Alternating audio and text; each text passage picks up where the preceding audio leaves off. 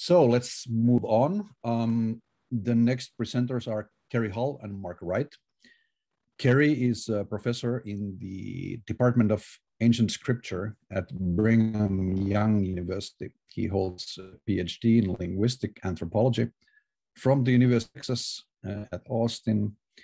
Uh, his academic interests include Maya linguistics and anthropology, uh, Chorti Mayan, Polynesian linguistics, historical linguistics, sociolinguistics, ethnobotany, ethnoornithology, and Maya epigraphic studies.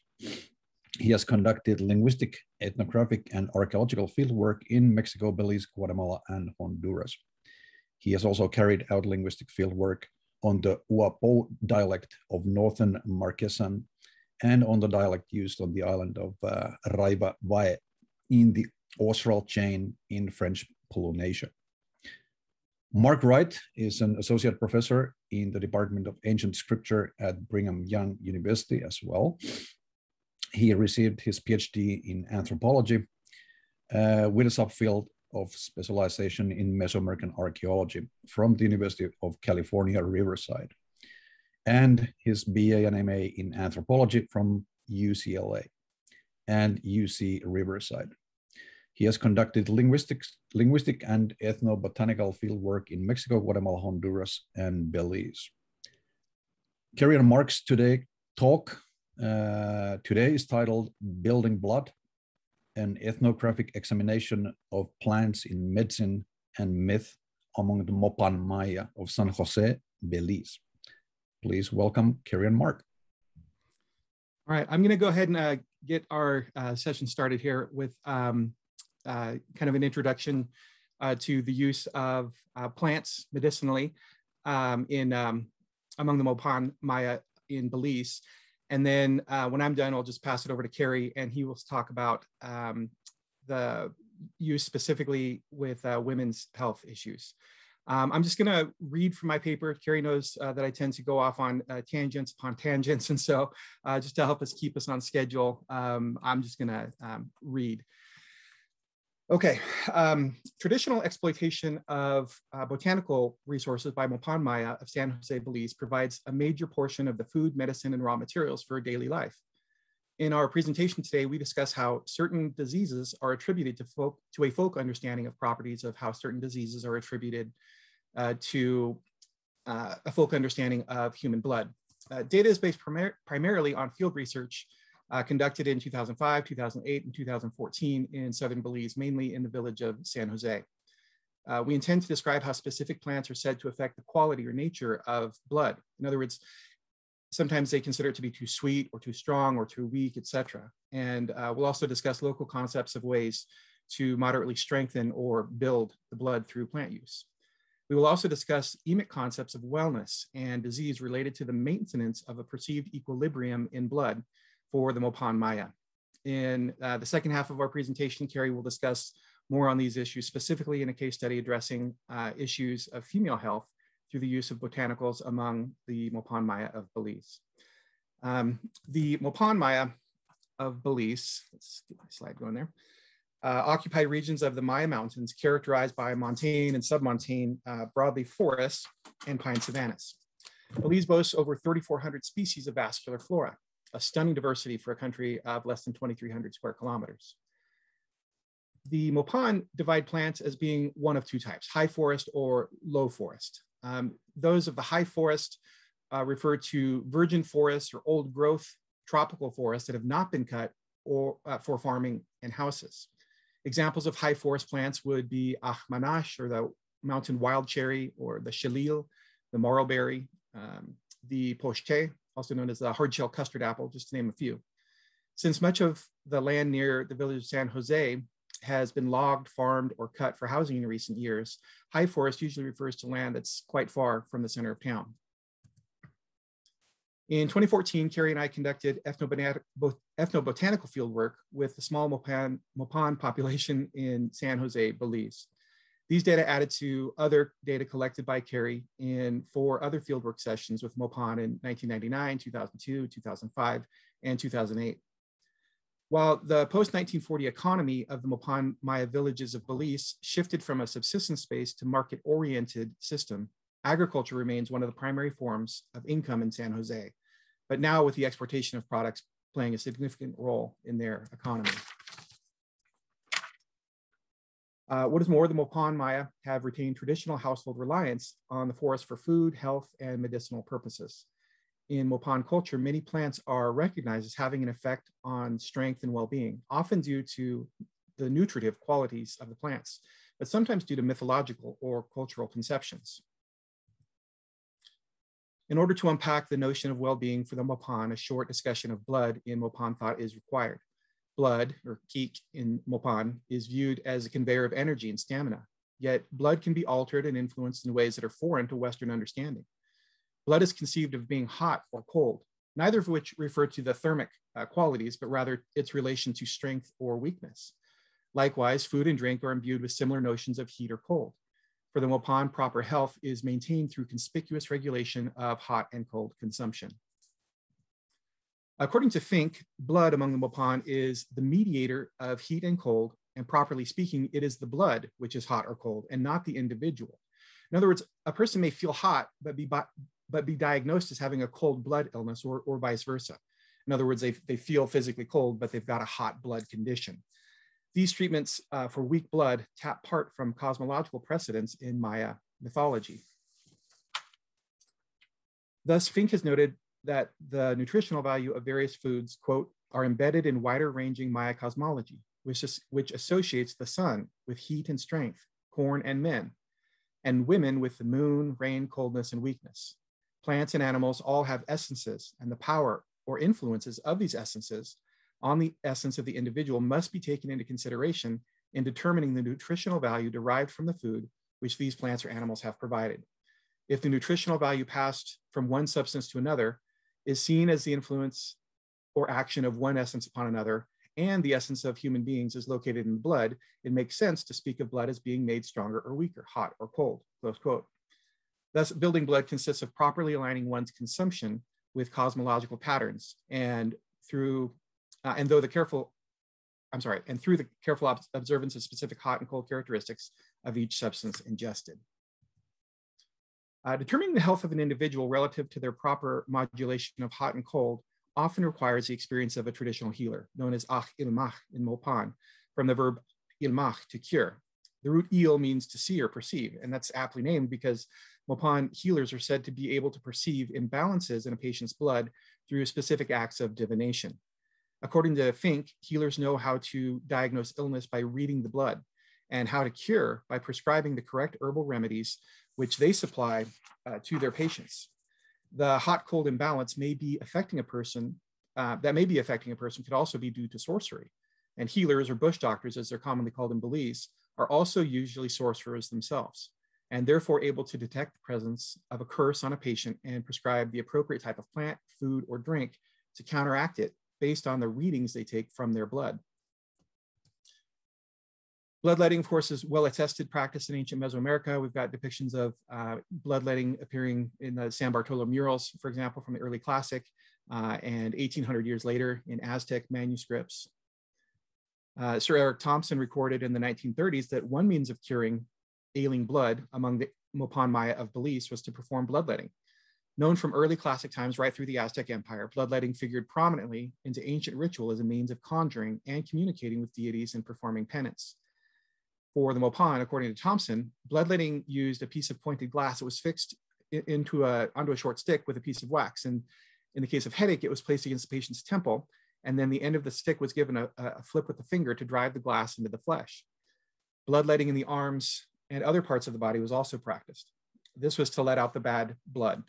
This type of bloodletting was especially common in the case of sorcery. For the Mopan, regulating the quality of blood was essential for proper health. Uh, for our purposes here, we want to discuss specific plants that are said to be hot, which the Mopan state are the ones that build blood. In other words, their native concept um, that we hope to illuminate in this presentation. It seems likely that the notion of strengthening blood or building blood is at least in part related to boosting red blood cell counts in some cases tiredness or weakness are both uh, immediate symptoms of anemia. And many hot foods happen to be high in iron, but not all. The, in Mopan traditional thought, hot foods combat weak or cold blood. In Belize as a whole, many of the folk remedies for increasing the heat of the blood include using medicinal plants in the form of blood tonics. Uh, let's begin by, look, by looking at uh, Yashkomje, or green stick, a shrub found throughout the Belizean high forests. Its leaves are used as a cure for head lice. Children with fevers are also wiped with these leaves to cool them off. In addition, our consultants state that green stick is also used to cure pasmo, a Spanish term used to describe an imbalance in one's heat or cold. The Mopans say that if one feels weak, you take the leaves of the green stick, you boil them, and when it cools, it can be drunk. This, they say, will give you energy and build your blood. Uh, another plant that is highly valued among the Mopan is the amaranth. In Mopan, it's known as Ish Kalalu, which derives from the Creole name Kalalu with the feminine prefix Ish. Its proper Mopan name is Chayuk. Uh, amaranth leaves are commonly boiled, cooked with lard, salt, and onions, then eaten with tortillas and rice. Medicinally, they say it strengthens the blood and that it makes one feel strength in the bones. Um, one of the most celebrated medicinal plants in Belize is the balsam pear, sometimes called bitter melon. Uh, it's known as Ish Hamor in Mopan. Uh, the balsam pear is also highly regarded for its antiseptic or cleansing qualities for fevers and as a treatment for diabetes. Indeed, recent studies have authenticated its use for diabetes and as an antibacterial and as an antiviral agent. For the Mopan, however, it is most valued for its ability to build blood when drunk daily as a tonic while simultaneously purifying the blood. A number of trees are also valued for the ability to build blood. Uh, the semi-deciduous or oat tree or stinking toe is popular among the Mopan Maya of Belize as a means of strengthening the body. The long wood-like capsules grow between 20 to 40 centimeters long and contain upwards of 40 seeds per pod. Mopan men and children suck on the seeds in order to build blood. Uh, that is to say, they, to increase their strength and their stamina. Stinking toe seeds are known to be high in iron, which would help explain its use against anemia and its strength building qualities, uh, since it would increase red blood cell counts. This is why Carao, derived from stinking toe, is becoming popular as an iron supplement today. Uh, endemic to Central America and Northern South America is the provision tree or wakut in Maya, uh, I'm sorry, Mopan Mayan, which is also noted for its ability to build blood. The Mopan uh, peel the bark of the provision tree and then they boil it and they make a tonic that is drunk two to three times a day for several weeks. And they say this gives you blood or gives you strength. The, the ahpapachina or sour orange is said to be a cure for sweet blood, by which the Mopan mean a type of diabetes or low blood sugar. They associate diabetes with a general weakening of the blood and therefore weakening of the body. Drinking the juice of the sour orange is said to make one's blood stronger. Uh, another cure for sweet blood is the cuche or cedar, a tree whose name enjoys a wide distribution among uh, Maya languages today and is even attested in the hieroglyphic script. The name literally means God tree and is valued for its medicinal qualities. The Mopan Maya used the bark of the cedar medicinally for kidney stones, but also as a tonic for sweet blood. In other words, that uh, tired or weak feeling. And finally, uh, the juice from the Anona fruit is said to be an effective treatment for sweet blood, again, which they define as diabetes, which is uh, for them considered a weakening of the blood. Uh, and with that, I will stop my share and I will pass it over to Kerry, who will discuss uh, women and health um, in the forest.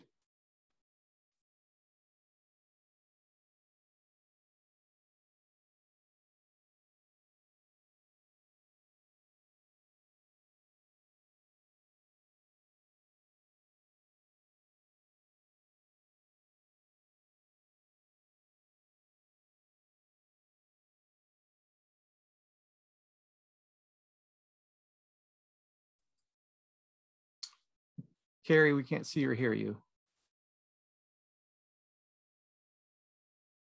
We see your screen, but not you.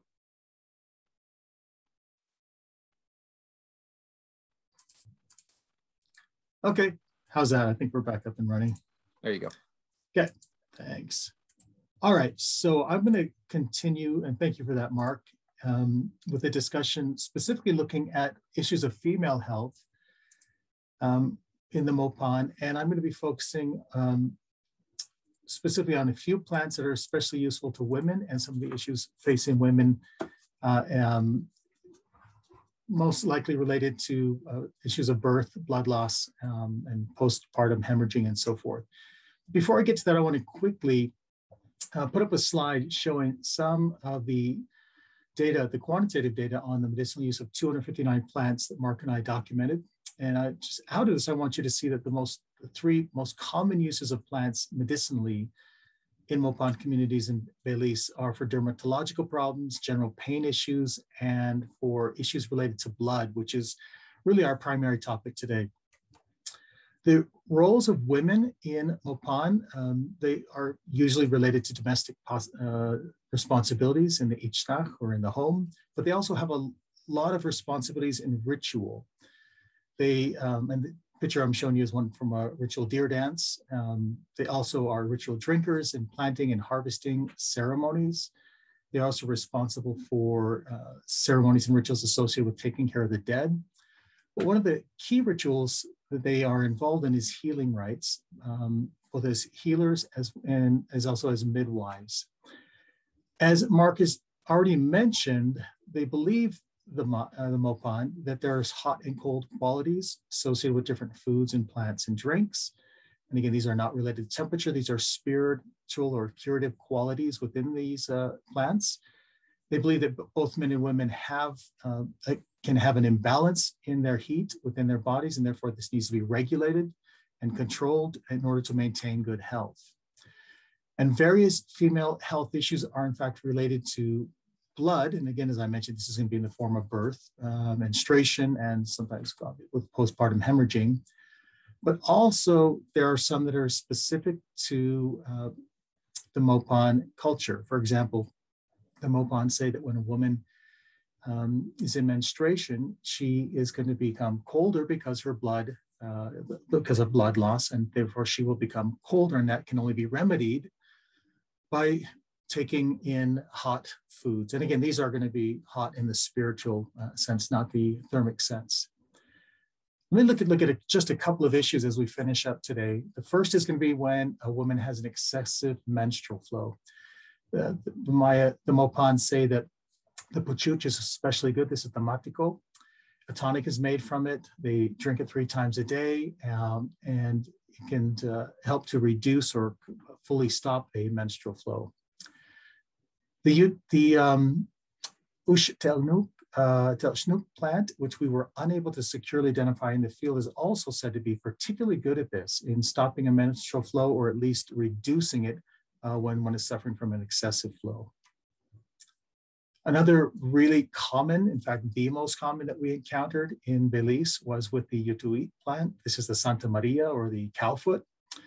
Uh, the, the word eat in Mayan languages is uh, the one for anus. And if you look at it, it looks awfully like an anus, right? Um, this is boiled for 20 to 30 minutes to make a drink that eventually reduces blood flow.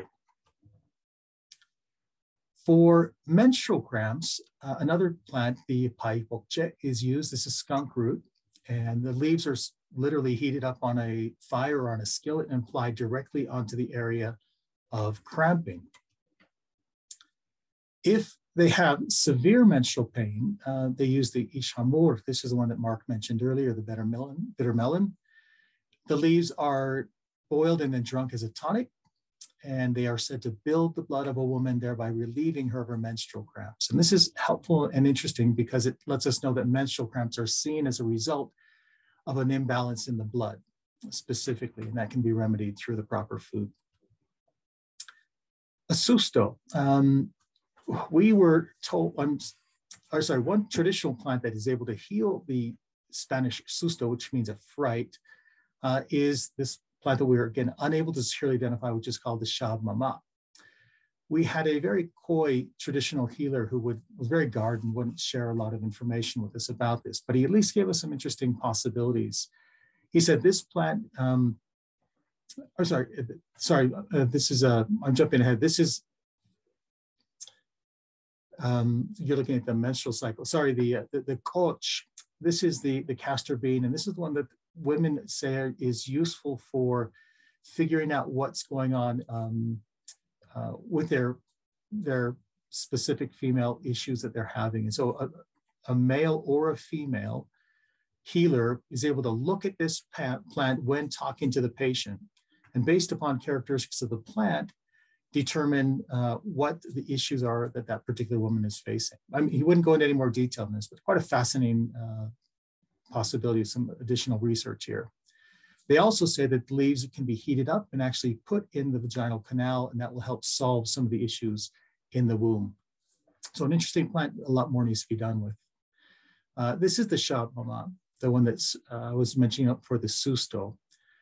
A susto specifically in Spanish is a fright, but in the context of the Mopan and other Maya groups, it is a fright that comes from having your spirit weakened because of that fright, uh, thereby making your immune system, as it were, weakened and highly susceptible to influences from evil spirits.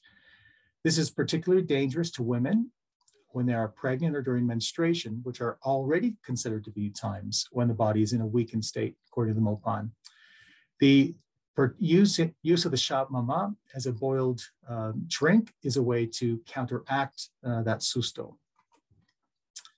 Another interesting one is with childbirth, which is again a very dangerous time. They use the chalche. This is another Santa Maria, distinct from the utuit I mentioned earlier. This is drunk as a tonic also to combat that, uh, but it can also be uh, something that you bathe with because of the spiritual warm qualities of the plant. If you bathe in it, it it'll warm up a woman after uh, birth when her, your body is considered to be extra cold. And it, as a side benefit, it says it actually shrinks, or in their terminology, repairs the womb after the traumatic experience of birth. And in terms of birth control, we only found one plant that was used in birth control. It was the Cuculmaca, the red China root. It was not used for men, just for women. Uh, and birth control is not all that common in these communities, so you can have 10 plus kids easily in a family down there. And finally, with uh, some lactation issues, the bayal or the basket tai tai is used they will uh, take the soft tip of a plant and boil it into a soup and make it into a tonic. And once consumed, it helps a woman to produce more milk if she's having trouble producing. And also will help a uh, mother who's just given birth who's having trouble uh, lactating to begin lactating. Uh, and interestingly, a combination of that plant with the Uyichaka uh, chikwan, this is uh, literally the claw of the grackle, these two are used in conjunction also to help produce uh, breast milk for a woman who is not producing. And finally, if a mother is over nursing, they use the nasun, which is uh, the jackass bitter. And as you can imagine from the name, it is bitter, therefore they rub it on the nipple and that it causes the, the baby not to want to over nurse. So in conclusion, um, and I'll go this kind of quickly, Plants are considered hot and cold among the Maya and many other uh, traditional societies, of course, but weakness is specifically viewed by the Mopan as a cold issue, and therefore it can be rectified through the consumption of hot foods. And this process of reconstructing and reconstituting one's health is described by the Mopan as building blood and thereby increasing stamina and energy. And this is, as I've shown here, is particularly the case with women and specific issues they have uh, with blood loss during menstruation and uh, childbirth. But overall, forest botanicals still play a major role in men and women's health. And we would argue the very notion of health is closely associated with the proper regulation and building of one's blood in Mopan Maya villages of Belize. That's it. Thanks very much.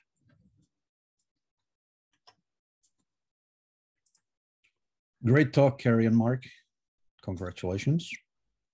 Uh, we now have some time for uh, questions and comments. Um, I don't see any at the Q&A, but I, I can start um, with a comment and question at the same time. Uh, first of all, obviously it would be great to see some of these uh, indications of uh, medicinal plants and also cures in the epigraphic record beyond Kuhteel and some others that you mentioned obviously we know that a lot of these were probably uh, passed on orally or even written down in codices that we we are just missing. Have you gone through the epigraphic record and also maybe contrasted the mopan use of medicinal plants and illnesses with those uh, mentioned in the Chilam Balams? And also highland sources maybe? We done some of the comparative resources um, with Yucatec and some of the other related languages, um, and it's been quite fruitful to see that there are a lot of similar uses uh, in some of these. Kekchi, of course, because it's there in Belize, also shares a lot of these uses, and I think there's just uh, general sharing going on in various ways because of the close proximity of the two groups. Um, we compared some of our data, both in the Kekchi and the Mopan, to the highland uh, Kekchi communities in Guatemala, and uh, we found some distinct differences. So yeah, we think Belize is sharing a lot more of that information um, coming from one of the two sources anyway. In terms of epigraphics, we haven't uh, been able to locate any of the plants that we've looked at medicinally in the hieroglyphic script. And we've been able to do that in some other areas, but not with uh, successful anyway, not yet in the hieroglyphic script. But you're right, that would be a very fruitful area to do a little more serious research. Great, thank you. Um, there are now a few questions in the Q&A. Um, I don't know if you can see them, but I'll read them out. Uh, in Mopan, does this issue of hot and cold relate to the so-called soul and soul loss in old ethnographies? We don't know if we've ever had it explained that way, Mark. I don't know if you, but we we had it talked about as as a diminishing of power and energy. But I, I guess you could extrapolate that further, perhaps into some notion of soul loss, but not explicitly. Mark, any thoughts? No, I can't. I can't remember any explicit issues. Yeah, it, it was more about strength or weakness, but not about um, total loss. But yeah, I, I can't. I don't, I don't remember any mention of that from any of our consultants.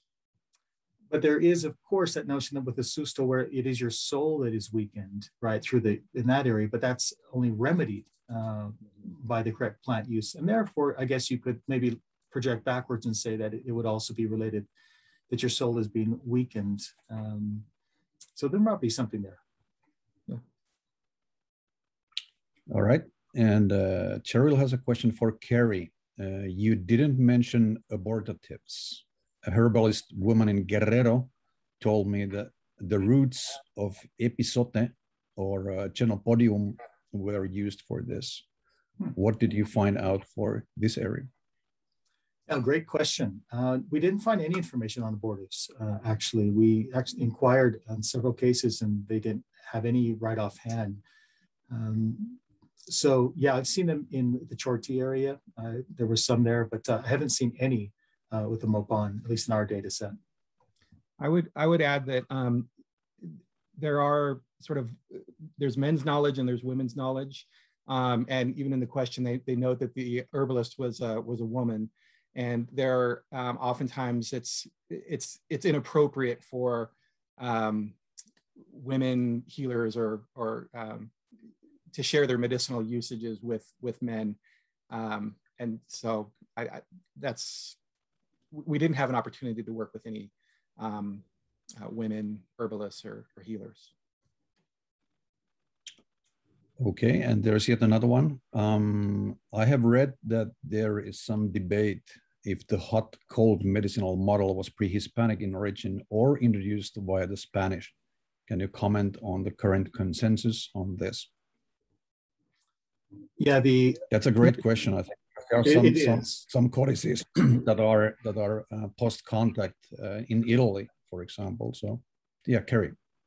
Yeah, I agree. It's a great question because I don't know if the issue is settled yet. Uh, the European influence is clearly documented. Um, uh, the question is whether any of it is pre-Columbian, and I think I don't know if we have a solid resolution to that.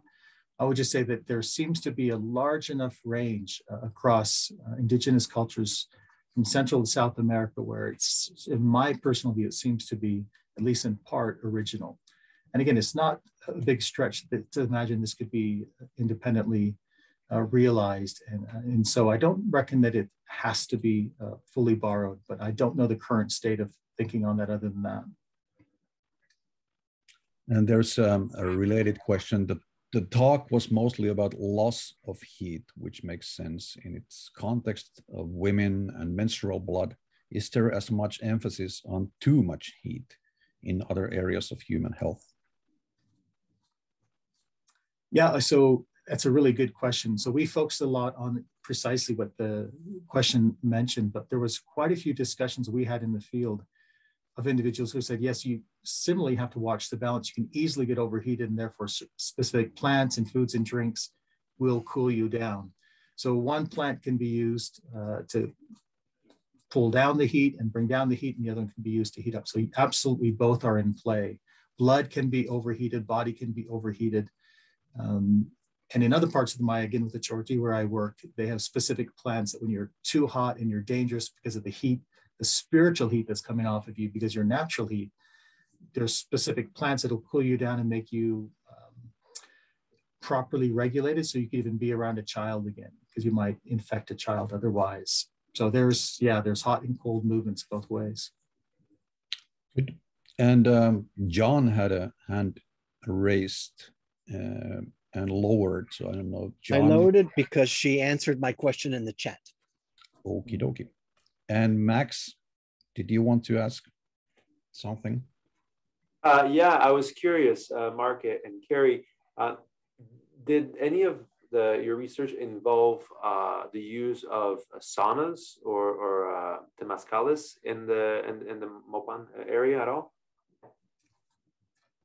Go ahead, Kerry. Oh, yeah, none. We found none, none and that use uh, in any of my different fieldwork sessions in any part of Belize. I don't know if anyone else knows of any um, from any community in Belize. I certainly don't. Thank you. Yeah, that's a that's a great question, Max. We did a presentation with Max uh, a couple of years ago at Maya at the Playa, and it seems that the, a lot of this uh, temazcal chuh sauna culture that was there in the lowlands um, probably disappeared after the collapse of the classic society, and then we have it in the highlands in Guatemala and all around in Mesoamerica, but not uh, so much anymore in the uh, in the lowlands, mm-hmm. and that's that's interesting. And especially for, especially for the hot cold aspect, and it's used for parturition in particular. So in that sense, uh, it tied in, and also a lot of these uh, different herbs can be used uh, and uh, put into infusions, and then infusions are thrown in the stones and, and used in that way as well. Interesting. Yeah, one, one thing I might add, um, there was a comment earlier about um, somebody that had worked with a, a Mopan uh, team, and um, he had to come in sick basically and or call in sick and his father said it was because he ate an ice pop uh, on a on a hot day and um, the, the, this I think relates to the question of um, you know the hot and cold and the, the, the Spanish influence on that and I think some of this it almost seems some of the Spanish stuff is is more of a, a physical like thermic quality like a cold ice pop versus a hot day. Or when I was in, uh, I lived in Colombia for a couple of years, and if someone was ironing, they, you know, they might ask me to get something out of the refrigerator because they believe that the contrast of the, the hot iron versus a cold refrigerator would, would give them arthritis. Um, and so I think sometimes um, the there's more of the the actual like you know temperature quality, whereas the plants that we're dealing with, the hot versus cold, they're not they're not actually hot or cold. It's it's just the sort of the mythological properties of the plants that are hot or cold. All right, thank you.